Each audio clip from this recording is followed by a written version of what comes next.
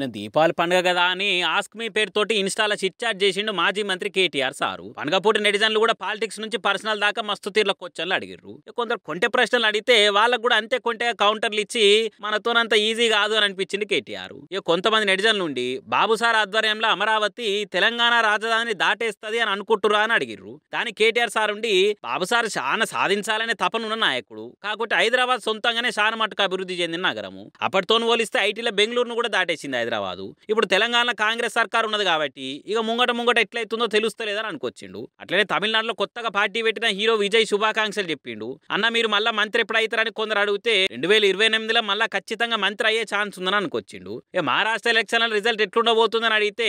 అక్కడ బీజేపీ కాంగ్రెస్ లను ప్రజలు నమ్ముతలేరు అక్కడ ప్రాంతీయ పార్టీల దిక్కే జనం మొగ్గు చూపుతున్నారని అనుకొచ్చిండు ఇక ఇట్లా ఇష్టమైన వంటకాలు నచ్చిన జాగలు ఫ్రీ టైంలో ఏం చేస్తారన్నా సినిమాలంటే ఇష్టమేనా మస్తు క్వశ్చన్లు అడిగితే అవన్నిటికీ ఓపికొత్తటే జవాబు జవాబులు ఇచ్చి అందరినీ ఖుషి చేసిండు సారు